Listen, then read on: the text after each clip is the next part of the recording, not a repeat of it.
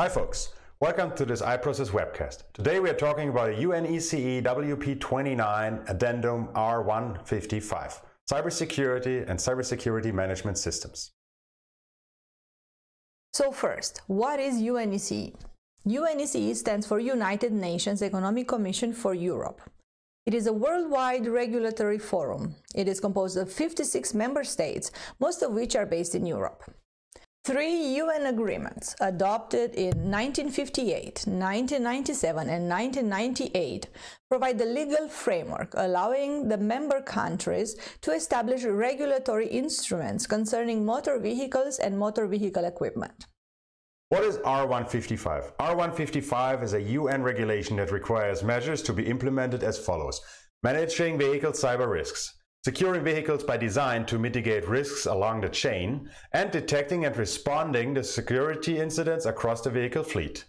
It contains requirements for the cybersecurity management system as well as a good amount of examples of threats and mitigations to get started.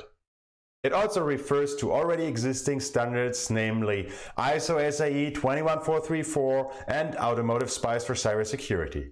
Let's have a quick look. Automotive spice for cybersecurity. The UNECE regulation R155 requires that the vehicle manufacturer identify and manage cybersecurity risks in the supply chain. Automotive spice or ASPICE is a process assessment model which helps to identify process-related product risks.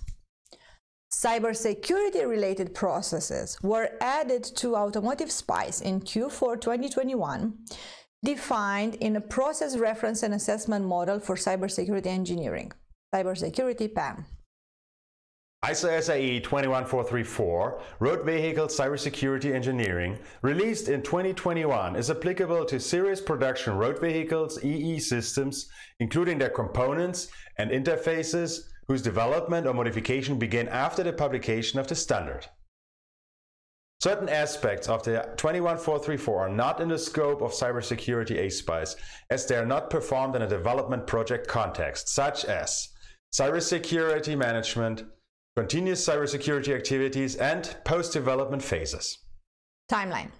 The R155 regulation applies to passenger cars, vans, trucks, buses, and it entered into force in January 2021.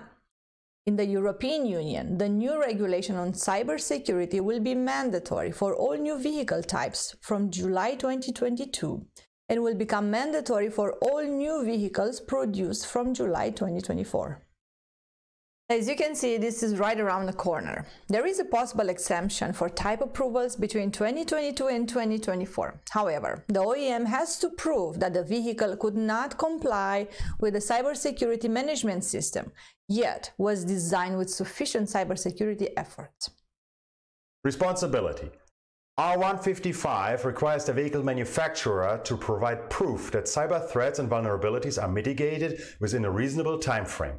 Yet, as it is with many other regulatory requirements as well, the OEM usually passes at least parts of the efforts down to the suppliers.